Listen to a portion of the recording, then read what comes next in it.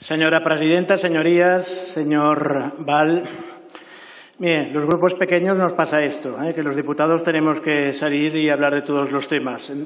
Y como usted ha intervenido antes, se le ha escapado mm, una cosa que me ha dado la clave. Dice, volvemos a presentar. ¿eh? Porque yo estoy convencido de que esta proposición que usted ha venido a defender no la ha redactado usted. No dudo de sus buenas intenciones, pero el desarrollo usted coincidirá conmigo. Yo le he tenido de contrario en sala, discrepamos en muchas cosas, pero usted le reconozco que es un buen jurista y estoy convencido que esto no lo ha redactado usted porque la redacción es torpe y el momento es inoportuno.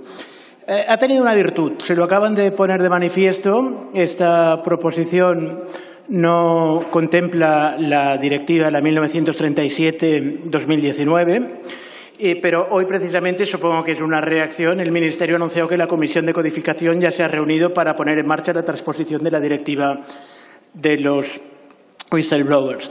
Eh, por tanto, ahí sí que han tenido cierto mérito, que esperemos que por primera vez se cumpla el plazo de, transposición de, directivas. ¿eh?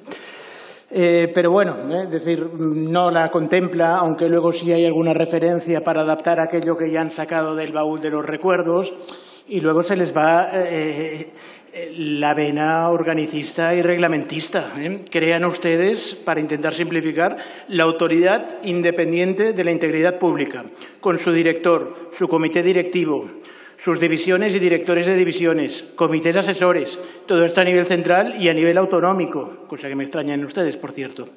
Y, además, mm, bueno, es decir, un desarrollo reglamentario tan complejo que me recuerda aquella ocasión que para intentar simplificar eh, la estructura administrativa se creó la Dirección General de Desburocratización con la Subdirección General de Simplificación eh, de Trámites Administrativos y la Subdirección General de Eliminación de eh, Organismos Superfluos.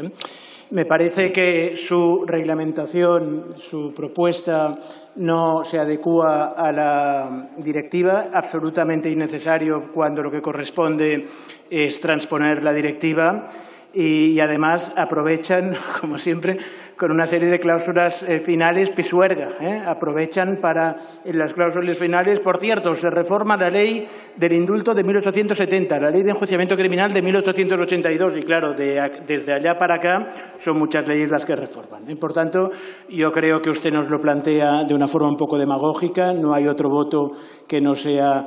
lo, lo, he hecho muy complicado. Para mí, un sí que es un no, un no que es un sí, lo nuestro va a ser un no no, no a la corrupción, pero no a su propuesta, que creo que ustedes están en condiciones de hacer algo mucho mejor. Muchas gracias. Muchas gracias, señor Alonso Cuevillas.